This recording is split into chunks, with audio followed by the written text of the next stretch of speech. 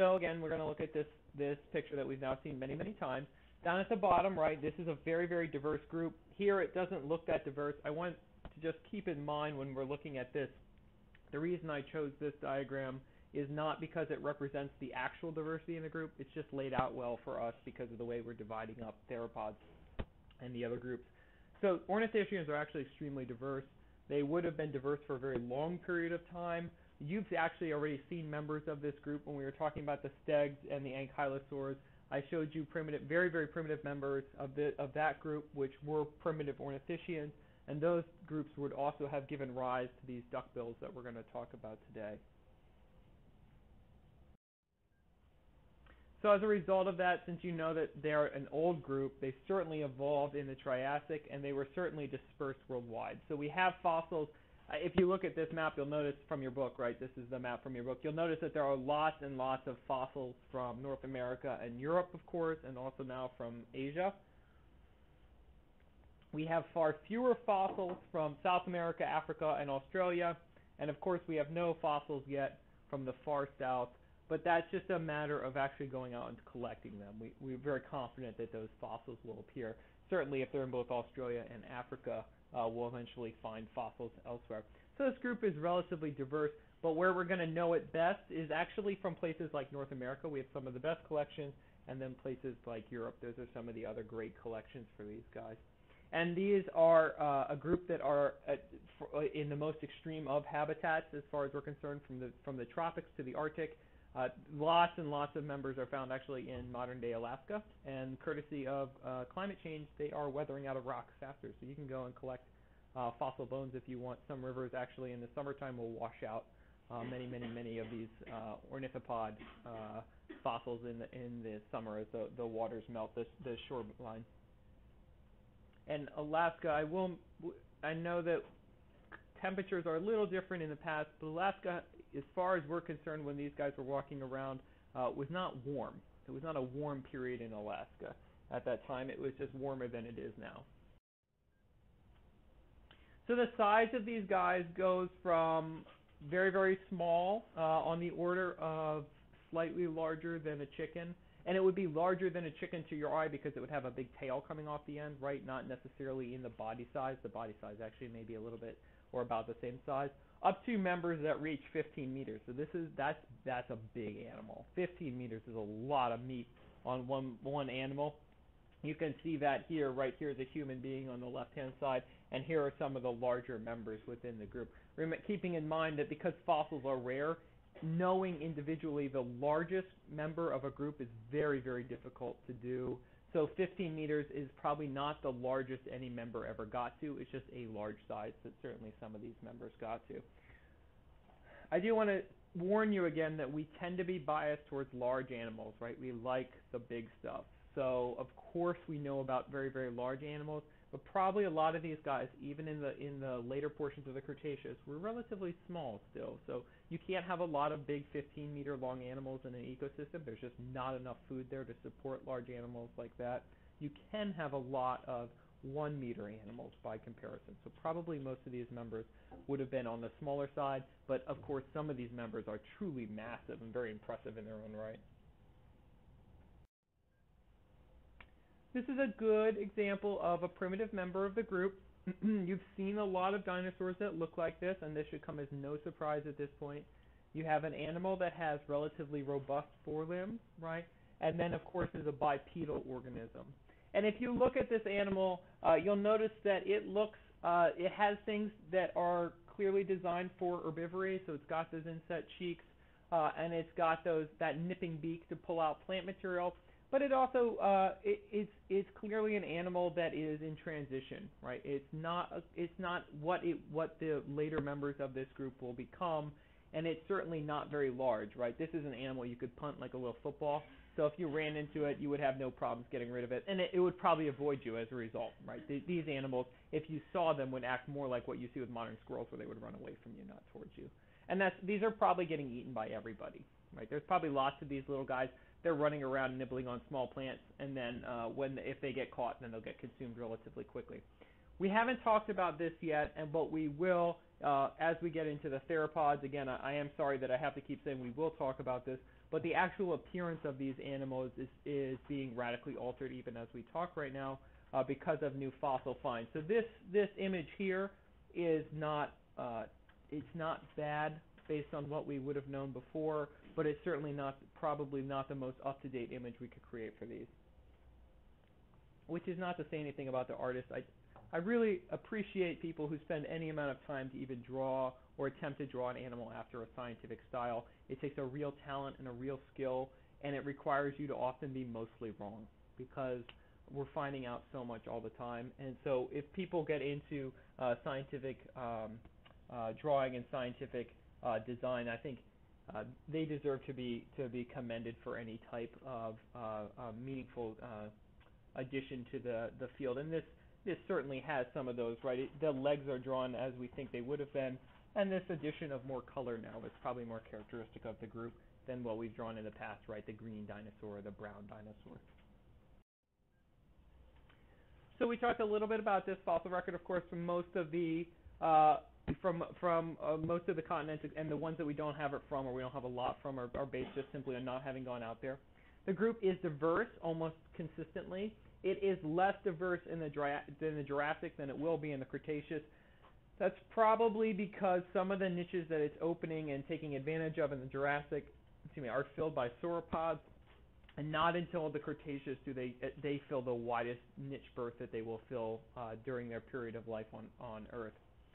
A lot of members we have, of course, we have in most cases single specimens or partial single specimens, but in some members we've actually got everywhere from eggs to adults, so you can actually go out and, and hold eggs with embryos in it, all the way up to the mature adults that have probably died uh, from old age. So, you know, a variety of things like uh, parasites or, or just disease, or maybe simply from uh, other issues. This is not true specifically for this group, uh, not just true specifically for this group, but true for uh, other groups as well. But we do have actually phenomenal numbers of skin impressions. So we, we really have a very good idea of what these animals' uh, skin would have looked like in real life. That's true on larger animals. Smaller animals are more spotty. In some cases, a very few number of cases, we have what are called mummified dinosaurs. These are not actually mummies in the way that you're thinking of, where, an, where the actual organic tissue is preserved uh, wholesale around the body and just dried and desiccated to protect it. But it is preserved in a molecular sense by the replacement. So it becomes a rock, but it's replaced at a one to one. So the organic tissue was replaced. And what the rock looks like is very much what the organic material would have looked like when the animal was alive. And we're going to look at that in some of the pictures that are coming up. Uh, but I just want you to know that we do have some, and when you see it, you'll go, that looks like an animal. That really just looks like what I would expect a dinosaur to look like and that's because we have a lot of information of these. And then, of course, actually, we also have these uh, around us. Trackways for these guys are relatively common. As you would expect an herbivore, especially one that's dominant around the earth, trackways are present uh, everywhere, and it's very easy to find them. Uh, most members of the group have three toes, which is not terribly different than theropods, but the toes are very rounded. They don't come with those big falcate claws that would be for, for grabbing on and holding on to animals. So they'll have these very noticeable, broad, three three-pointed toed uh, trackways once we get out of the very small primitive members, right, as we reduce the number of toes. So here's a trackway. You can certainly go see this. I've seen this trackway. This trackway in this image is actually the direction and then the angle that you would see it if you were standing at it. It, it is um, uh, the floor of sort of a old river stream valley that's been slanted up at about a 60 or 70 degree angle so you can look up at it. And if you could, you could crawl on it. Of course, you're not allowed to crawl on it.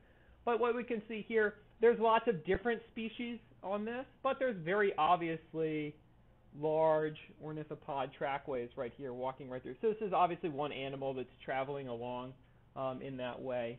And this is up in uh, on Dinosaur Ridge in Colorado, and the uh, or in Denver. So if you're ever in Denver uh, for any period of time, you should absolutely go to Dinosaur Ridge. You can walk it. You don't have to pay to go there. Uh, you can park the car and then you walk up the ridge, and you can see these very easily. You just walk along, and there's of course thousands upon thousands of these.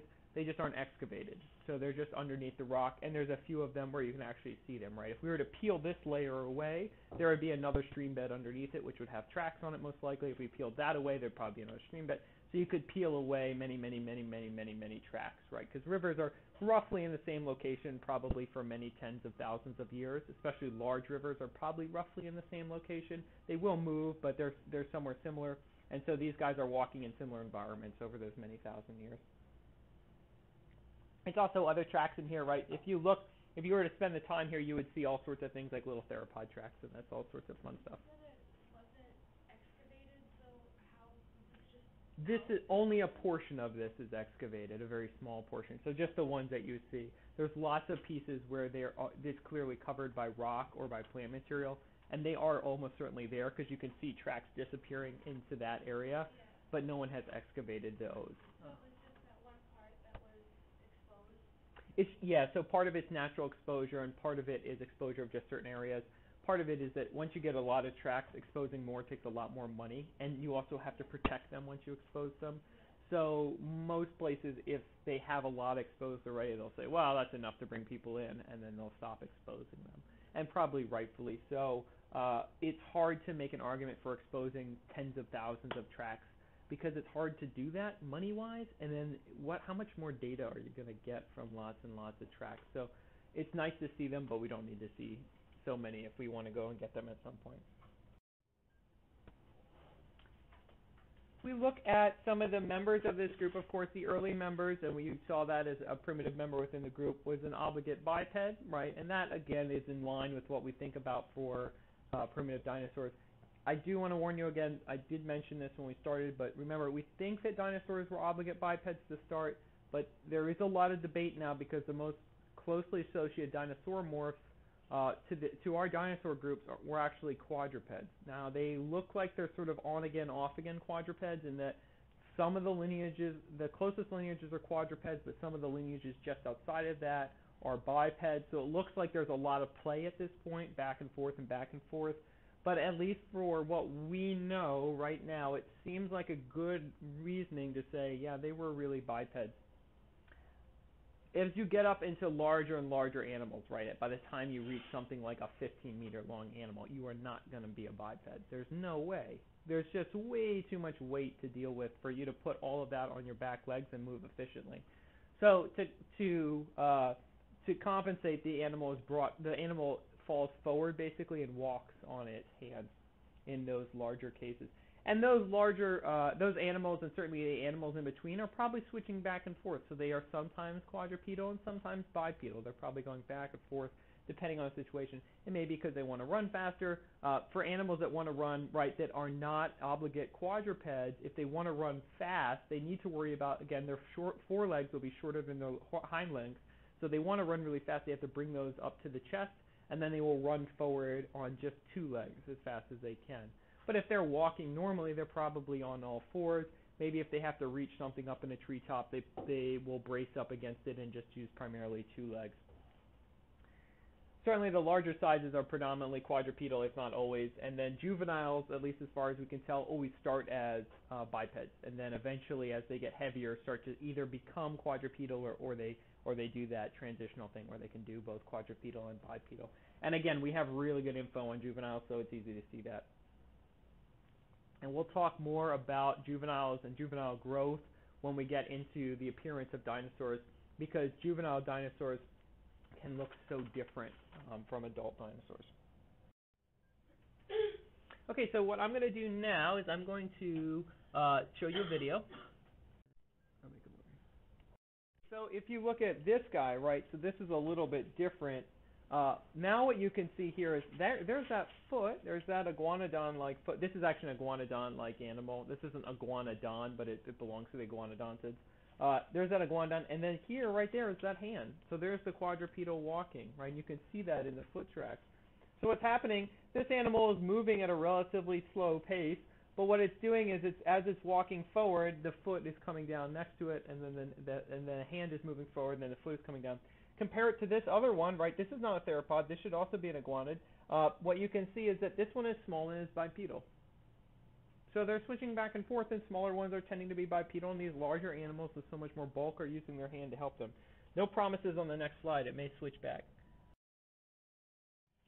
Oh no, we got this one. So this is this reconstruction is probably more or less accurate, at least in the way that these animals are walking, at least for normal paces.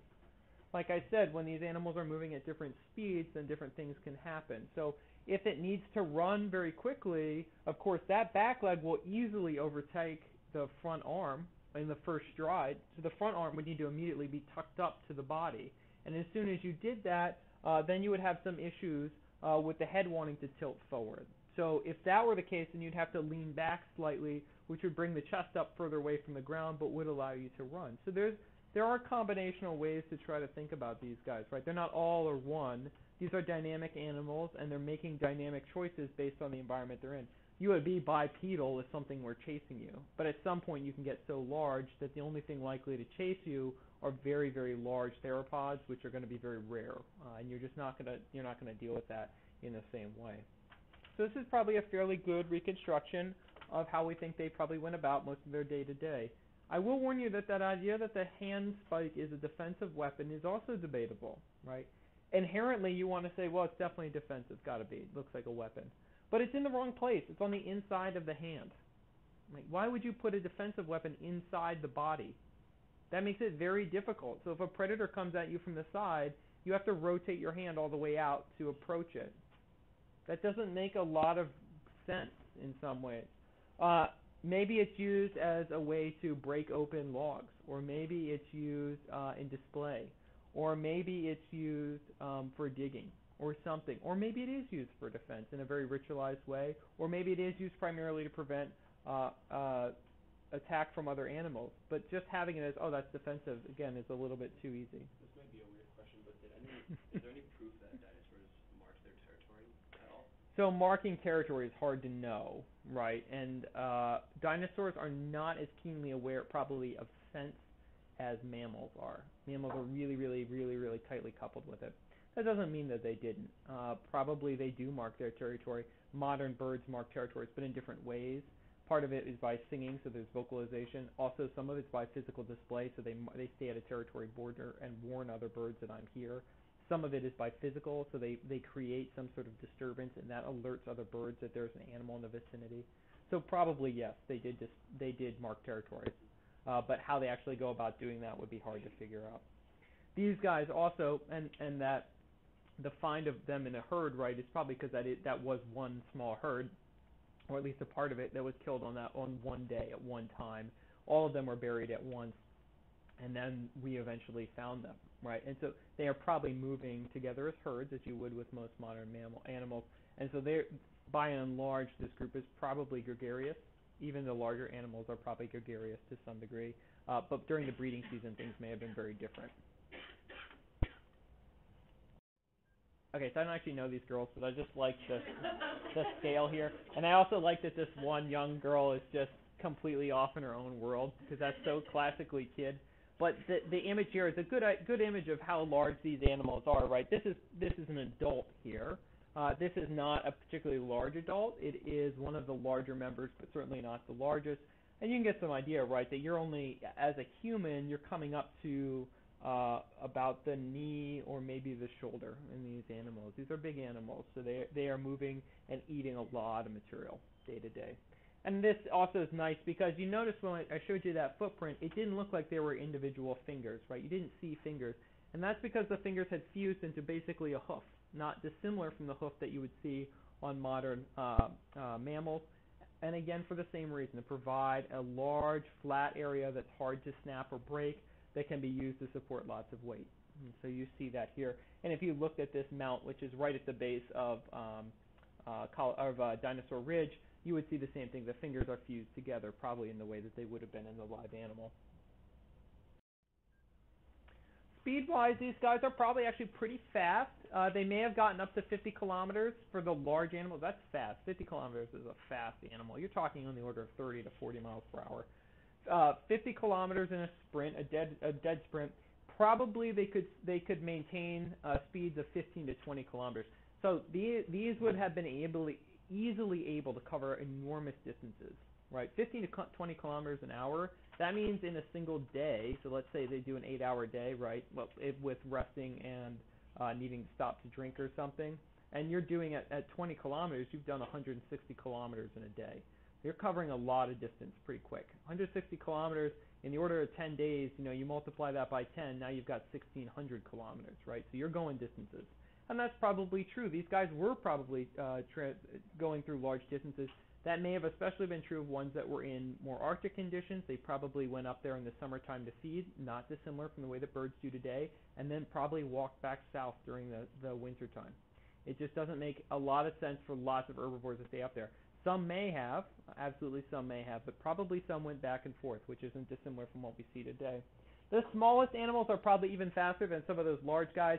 60 kilometers an hour is about as is, is starting to approach what we know ostriches can run at, and they're also bipedal and very good at running. And so 60 kilometers an hour is probably a reasonable speed for, for some of the small guys on a dead sprint. They are again probably uh, maintaining uh, speeds in the in the 20 to maybe 30 kilometer range. In any case, that's way fast. It's really really quick. So the the other thing I want to point out here, and this again, this this artistic sketch is one I just picked offline, but you can look at some of the things that this person was uh, experimenting with. Of course, these three fingers in front would actually be fused, so you wouldn't have separate. But whether the the finger can actually grasp across the hand, right? What's the point of that finger? Is it to hold things like you see there, where they're actually holding something? Uh, is it to manipulate stuff, or is it to push stuff aside? There, that would be unclear. So in general, these animals are probably not really good articulators of things in front. Maybe the smaller ones are, but probably not. Uh, they're not really they're not really interested in um, uh, uh, changing the orientation or modifying the orientation of something in front of them. They're probably mostly by the time they get up to these large quadrupeds, just interested in moving uh, predominantly on these hands. And this artist you've seen has added a little tiny hoof to it and a little what would have probably been a little fat pad to help uh, and that's probably true. There probably would have been a little bit of a pad there to help uh, distribute some of that weight across the hand instead of directly down the bones. All right so you have not seen much of the head although you did see a few of the heads in that image and i think what you did see is that they are uh, very distinctly chewing heads right? These are as good or better than the uh, ceratopsians we saw huge numbers of teeth, hugely inset jaws, right? Very, very distinctly inset jaws, so very large teeth. Uh, they have enormous numbers of them, and their location is extensive. And these guys are also very distinct in the way that their head will move. And I, I think in this next, or at least coming up, I have videos of that head moving, so we can actually look at the way in which their head would have would have moved to allow them to chew more efficiently. In some cases, we're not going to talk too much about it today. I'm just going to let you know that we do have stomach content. Uh, we are going to actually look at the stomach content of an individual in the future. We have an image of that individual coming up. But they have lots of things in them twigs, berries, coarse plant material, ferns, uh, spores, algae, all sorts of stuff in the gut content we can look at. In general, they look like they're feeding usually on the low to the mid height plants, which should not surprise you. That's the size they are. They should be feeding on low to mid height plants. And of course, they're not going to feed on the tallest plants because what group is going to dominate that? Absolutely, the sauropods are going to dominate those very tallest plants. So they're not going to be chewing on those anyway. Here's a good example of, again, I wanted, I just wanted you to see this phenomenal amount of teeth and also that very inset jaw. But also, this is what we call a mummified dinosaur. Uh, this, this again is not an actual mummy of the dinosaur, but you can really see that the soft tissue here was preserved very distinctly, and there's that hoof up there, right? You see how the hand was kept together even in the preservations. You see that very distinct hoof. If you looked at this specimen, so if you spent the time looking at this, you would actually see muscle striations on this. So you actually see the muscles on this animal. And so we have lots of information about that. In fact, this animal had the skin pulled away from its jaw, so its cheek basically got chewed off. Uh, but then you can see that the skin around the rest of the head was mostly maintained. So that's actually not the best preserved one we have. That would be this guy. And this guy is actually preserved uh, almost to the point where it looks like it's alive to a degree, right? You can actually see the next vertebrae going through here. This is a big pillar of muscle right around the head. There's some of it stripped back over here. All of the internal organs appear to be uh, to have been left in the body. You can see the hand down here in the distinct way it's held. Uh, there's actually skin, if you can look at it down here, you can actually see the skin imprints on the, the legs very distinctly. You can see that on the rest of the animal as well. It's just so obvious down here. But this is sort of the, some of the preservation we get, and that's partially because we have so many of these animals. How recent were these found? This is within the last ten years. Uh, the other one is much older. So they had that other one. Not not quite at that time. Okay. Not quite at that time. They had that other one, they still thought they walked on two legs. Keep in mind, it's hard though. Uh, this is kind of unrelated. Okay. Um, do we know what the maximum height of vegetation was during the Mesozoic? Sure. What's the maximum height of a large tree that would have lived in the Mesozoic? We have many of them, right? So probably in the order of, of uh, tens to hundreds of meters, right? These are big trees. Yeah. So we have we have modern trees that have lineages back then, and they are very tall, and that may actually be what we call a ghost of selection past. We haven't talked talked about that yet, uh, but they may be basically evolved to to survive around sauropods, but we don't have sauropods anymore. So kind of like pronghorn to extinct big cat. Yeah. So we still have some of that. Um, is that up top the, um, ossified bone? Yep, that's absolutely what that is. Yep, you can see it straightened out the whole spine. So this is so extensive, right? This is a fairly large animal. This is in fact so extensive that it's come into the main body to help straighten the spine. So by default, this animal will almost always be quadrupedal. It would have to be just because it can no longer bend the spine, basically. And you can see, look at how robust that forelimb is. If you look at the size of this forelimb to the back limb, it's not as large, but it's pretty big. It is a pretty big forelimb. Yeah, so this is a very cool animal. So we we do have gut content from this guy. What's that middle part that's like kind of broken up? That yeah, that's right there. These are where the organs would be located, and it's indeterminately. Uh, there there was some damage to the body. It's possible that what happened to this animal actually got bitten by some, maybe even a T-Rex, and then as it died, it fell into the water away from the animal and then drowned. Uh, and so it looks like there's a bite mark on one side of it. So it may have actually died specifically from that event and then been buried so quickly uh, that we actually we collected that uh, material, and that may be why uh, we have it, right? Yeah, so these are very distinct. Yeah, so you get really good feel for like how big was the neck around the bone. Pretty big. We've talked about this as well, but I do want to reinforce it because I think it's so important. Humans have akinetic skulls, which are skulls that, that don't have bones that physically move. So the bones are locked together and do not move away from each other at any point. Ornithopods actually have bones that move uh, when they're in contact with each other. Human jaws do have a motion, but it, that is a motion within the jaw, uh, and you have this up and down motion, just up and down on the bones, and then we also have a circular motion on the lower jaw. Ornithopods, which I spelled wrong here, uh, is a, a jaw which actually rotate out. So let's look at that, uh, and they, let's see if we can get a good video of that one.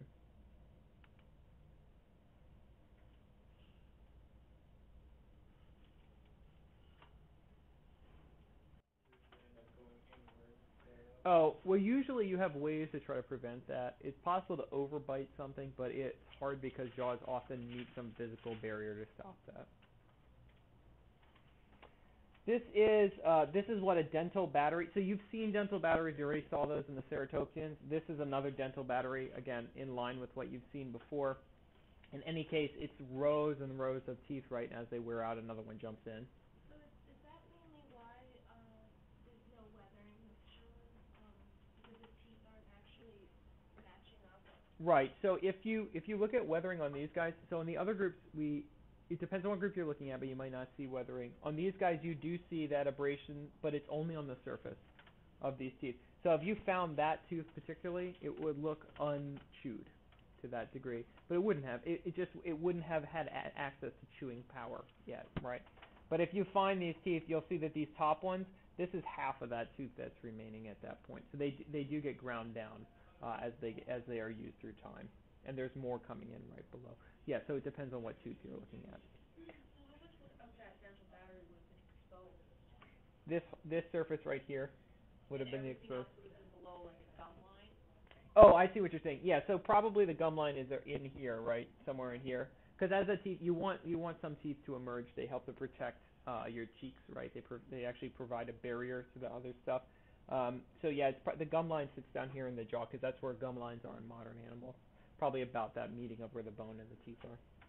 But if you were to break down the bone, of course, you would see that there's lots of teeth underneath it, stacked and ready to go up.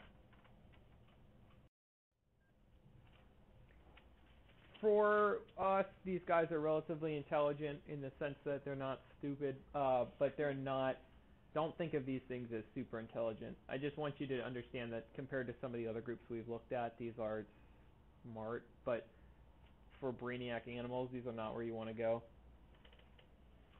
Some members have highly enlarged um, optic lobes. That's probably because they spend most of their time at either near or at night, so they're probably spending more time in those areas. And of course, one of the other things uh, that I think is obvious for large animals like this that spend a lot of times in groups is that there must have been some sort of social interaction. So they must have some ability to interact in a social way. So they have to have some amount of intelligence to deal with social settings, right? Uh, that especially once we start to get into these crests and these um, were probably additional pieces to that, right? Appearances that would that would drive those encounters. So let's talk about those crests now that you've looked at them. These are some of the common, I think these are the most common crested ones that people have seen before. These are probably different male to female because we apparently have male and female. Uh, probably males have bigger crests. That's probably the way it's working. In any case, who cares? There appears to be some sexual dimorphism there, and their crests are very distinctly different, right? Really weirdly different, and they have really weird convoluted chambers inside. So if you spend enough time on the internet, you can actually find the sounds that these crests would make, which is easy to do because you can make molds of these crests, then build uh, windpipes and blow air through them, and you can get what are probably the sounds that these guys would have been able to make, right? So you can actually hear extinct animal sounds, which is fairly cool.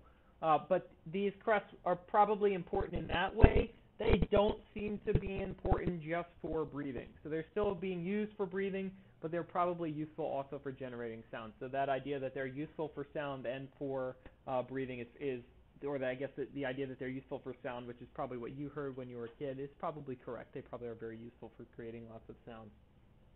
And they're very, they appear at least very distinct between species, so that suggests that there's some way to, for speciation.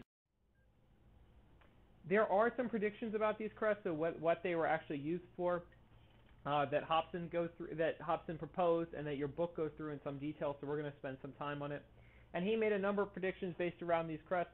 Each one of these uh, has to be validated for the crest to actually uh, be associated with that speciation mechanic, with that uh, um, uh, sexual selection and uh, sort of idea. In any case, uh, the first one is that communication and display were important, then they should have good hearing and sight, right? If the crests are important to producing sound, if they're important to sexual selection, if they're important for species identification, hadrosaurs by default would have to have good hearing and sight, otherwise you wouldn't need the crest to do those sort of things. So those should be in place. Uh, and then we're also going to walk through these, but I'll come back to this list as we go. So if that's true, then what should we find? Well, we should find things like large eyes, we should find middle and inner ear bones are well developed, and they should have a fairly wide range of sounds that they can hear, right? Because a lot of those really large uh, chambers are going to produce fairly deep sounds that may not be actually easy for us to hear. And that appears largely true. Uh, hadrosaurs do have relatively large eyes for what we're dealing. Or, uh, yeah, let me say hadrosaurs at this point. Uh, they do have relatively large eyes for what we're dealing with. They do have fairly large middle uh, and inner ear bones, um, and they do appear to have a wide range of sounds possible. So at least on the, the surface of it, yes, they do appear capable of hearing and seeing each other, and they do appear to be able to hear that and see each other over a range of options. Crests should also be very useful for visual display, right? So obviously very large crests do something for visual display and therefore the the size of and shape of the the uh, chambers within them should not match the surface. If crests are used for visual display, the chamber within should be distinctly different because the chamber is doing one thing and the crest is doing something else. So they should be disconnected in that way. The crest should function in a very different uh, different sense. So this appears largely uh, to be the case. There is way, way, way, way more complexity uh, than needed for these crest structures. So the complexity within them is much, much high. Very, very high, but it also doesn't fully utilize the crests uh, in that sense. They're probably using them as display mechanisms as some sort of warning to other animals, either to let them know their physical state or to attract uh, uh, mates to them. Another thing that we'd like to see, of course, is that uh, they should be species specific. That would be really nice, right? If every crest is the same, that suggests something else. Uh, and they should also be sexually dimorphic, right?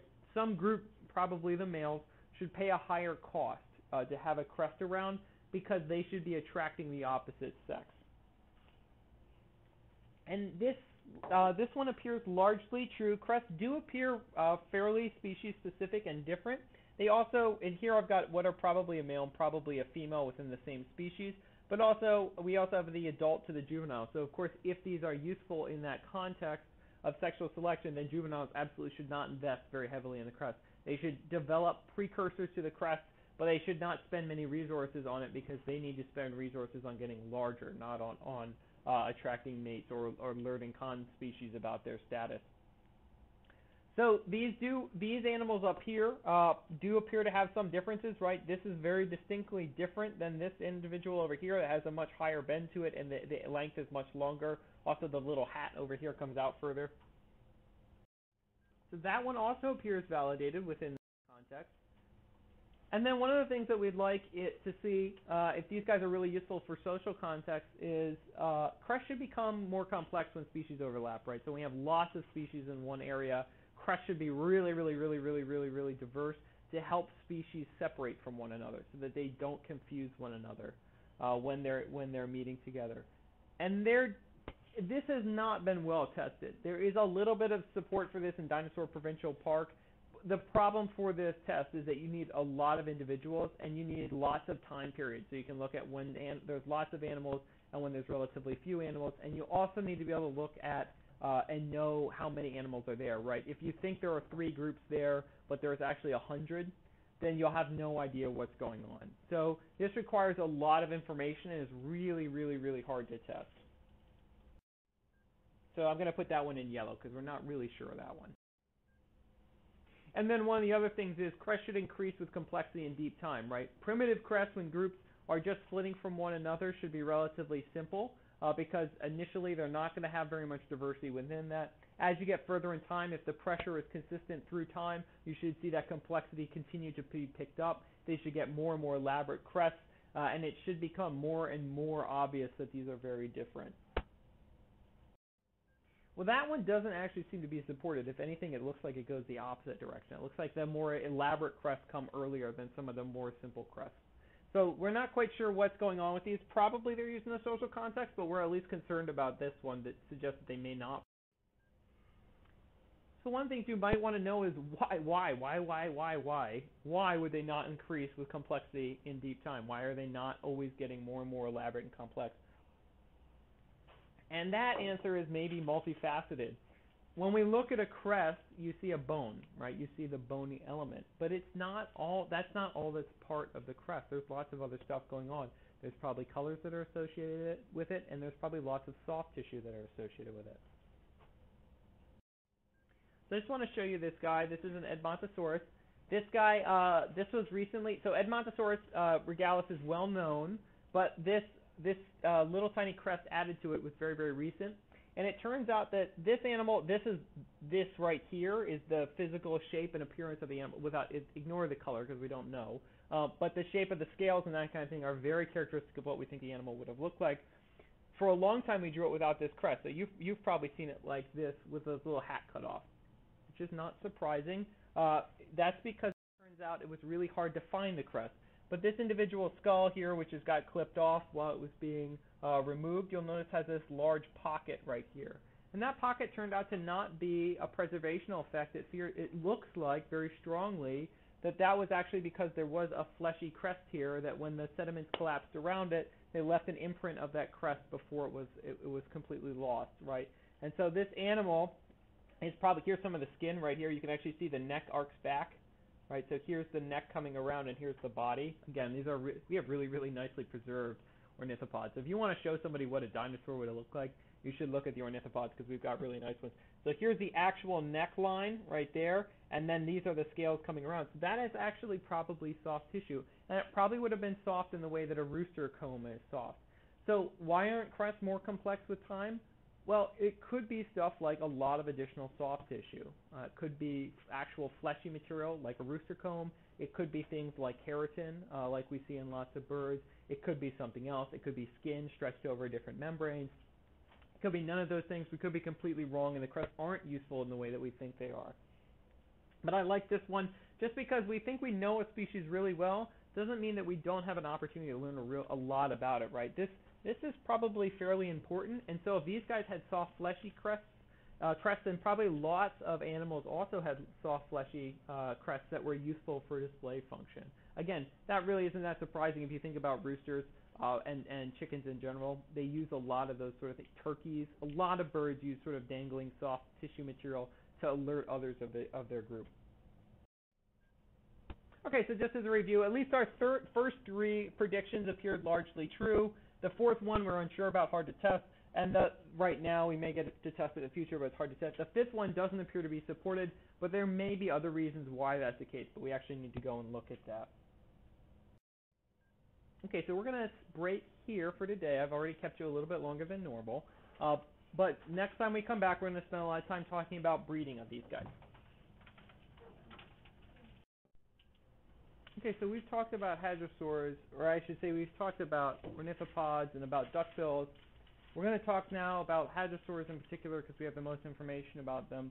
But rearing and growth, of course, is really important to us partially because it lets us know a lot about the animals, and partially because in a lot of the other groups that we've talked about, we don't have as much information. Maybe that's not as true in some of the ceratopsians. But in these these uh, later um, ornithopods, we have really good information about growth. So rearing and growth in these guys, at least in the basal lineages and the one that we have information for, that appears to be uh, what we call precocial offspring. So offspring that are very close to looking like uh, adults when they are first hatched, or basically when they first leave the nest. So these are offspring that will uh, probably function independently of adults, are probably laid and not guarded, or if they are guarded, it's only the eggs and then the adult will leave the area. Or if there is some guarding afterwards, it's probably of a relatively small nature in that the adult guards a relative area and the offspring stay within that area, um, and then at some point the adult or adults leave. So those are precocial. Those are very well-developed offspring. They're able to, to take off and do their own thing. Later groups, and especially you see this with the hadrosaurs, there that seems to have switched, uh, and that we're really dealing with animals that develop what we call altricial offspring. And if you if you've done bird work, you've heard these terms thrown back and forth. If you've worked with fish, you've probably also heard these terms. Altricial offspring uh, tend to look much much more like a, a young a young or juvenile for a long period of time. They're underdeveloped when they're born and require some sort of protection, often food, uh, and that's provided by the adult. And that gives the young a chance to grow very rapidly and also to change the shape and size of its body from when it was born to when it's an adult so that they can do things like feed differently or behave differently as a juvenile, which is very useful in many cases because juveniles don't do the same things as adults. And that's especially true for animals that are dealing with very, very large animals, right? So if you're a very small animal when you're born, but you have to get very, very large, when you're very, very small, probably looking exactly like the adult is not going to be particularly helpful because that the reason the adult looks like that is because there are selective pressures based on the size of the body. So you will be under a separate set of selective pressures, and so it is useful to be able to modify that body shape to adjust and accommodate you as you move up. So the larger animals seem to do this altricial one, uh, where they have a, apparently extensive amount of parental care, probably from the female, maybe from both parents. Um, but there's also probably things like migration, so there seem to be nesting sites. Those are probably not uh, immediately adjacent to food. So the animals are probably arriving at a nesting site for a reason, whether it's, it's relatively distant from uh, things like vegetated or um, mountainous regions where an animal could be, where a, a, a predator could hide, uh, whether that is because the sediments are right for nesting, whether it is geothermal so that the ground stays warm so that they can warm the eggs.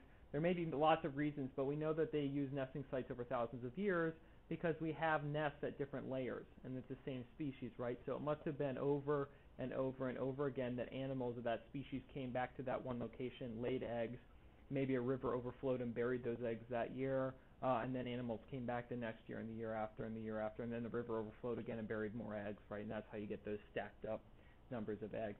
And these colonies are fairly large. They can be many, many uh, hundreds of uh, individuals, maybe even thousands. Alright, so this will be the video, assuming I can get this to pause.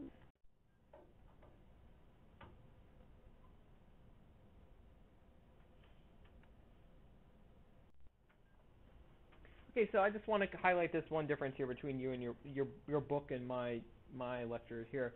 Uh, in the book, they talk about R strategies and K strategies. Those are useful in Bio 100 when you're discussing uh, different groups and use the epitome of each strategy, right? You'll talk about, oh, we'll talk about a fish that produces tens of thousands of eggs per unit, and we'll talk about an elephant that produces one individual over the course of years.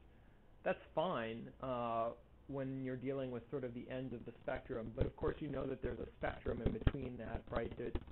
Uh, there are lots of animals that produce relatively few offspring, but they produce many of them. But maybe they're all individually large. Or there's lots of animals that produce um, lots and lots and lots and lots of offspring, but tons of them and over and over and over and over again. And dinosaurs are more of that category where they're probably producing a fair number of eggs at one time, producing relatively large offspring, but then they're producing them over and over again because the adults are probably surviving, not a guarantee, but probably surviving. So they're not going to fall cleanly into one strategy or the other. And I just wanted you to be aware that that doesn't mean that suddenly dinosaurs are wildly different. In fact, they're very similar to uh, to, to many birds that lay lots of eggs. They're not dissimilar in that way. And it's just that we we often want to put them in simpler boxes, but you're moving out of that realm now since you're moving into higher level biology and you should expect that the boxes don't really contain everything. They're just useful for understanding a concept. So if you look at, so this is a Maiasaur reconstruction, this is a growth chart, and we can look at uh, the stuff within the Maiasaurs, for instance, about how fast they're growing, right? And so you saw that tiny skull, and then you saw the adult, and what wasn't shown in that video, it's shown elsewhere in the, that uh, series, is how they get to those ages. But you can understand that if you're starting at an animal the size of your fist and you're going to end up as an animal larger or as large as an elephant, you're going to need to put on a lot of weight if it's going to be done in any reasonable amount of time. And when you're saying that that animal is getting there in under 10 years, then you're going to need to add a lot of weight. You're going to need to grow really, really, really, really fast. And that also suggests something else. That is that small animals are basically all going to die because there's going to be enormous predation on them, right? Because if even one of them were to make it, then they could produce many hundreds of more offspring. And remember, a stable population need only replace two individuals for each breeding pair. So a lot of these animals are going to die. And these animals are going to be, you can see here, sexual maturity is marked by this arrow. And there's probably skeletal maturity doesn't happen until you're eight or nine years old. And you're really not seeing any animals out past 15. Well, that means if you're sexually mature uh, in your second year of life, and you're producing until, say, your 14th or 15th year of life, and you're producing one, maybe two clutches a year, and you're producing 10 to 30 animals per clutch, you're producing a lot of individuals, and only two of them are going to make it on average in your lifespan. So the amount of animals that are going to get consumed uh, in the first year is going to be extremely high. And we see that in things like ostriches. The amount of eggs that are predated upon, the number of chicks that are predated upon, even making it to the chick stage as an ostrich is an achievement. Making it out of the chick stage to an adult is another achievement. But making it, once you're an adult, you have a fairly stable life expectancy. Uh, for when we say stable, I think this is somewhat surprising. That that's still 12% mortality. Uh, when you're up in the 10% mortality, to give you some idea, in World War One, the total population of Europe was declining by one to two percent. Right, that's and that's unfathomable for people to think about. The loss of one to two percent of all people on the continent, and not to make light of that because it is a, it is a terrible tragedy. But that's a very low percentage mortality, one to two percent. I'm telling you that when it's stable here, it's like 10%. So 10% of the animals you see are going to be dead by next year. And when it's high, it's up in the 90 percentile. So that that is more reminiscent of what we see in wild populations where the vast, vast majority of animals just don't make it. But this gives you a relatively interesting rate at which animals are growing, right? Really, really fast growth to sexual maturity, reach sexual maturity early, start to breed, relatively slow but constant growth after that point, and then, unlike birds and unlike mammals, we don't have skeletal maturity until far later in life, and if you make it past that, you continue uh, to reproduce, but you're not really growing that much anymore. It's a little bit different from uh, some of the groups we have today. Okay, so that is going to wrap it up for our ornithischians. So we are now done with this pubis, right? We're gonna we are done with that whole section, and now we're going to deal with um, the saurischians. So we're moving on. So that means we're going to do sauropods. So let's switch over.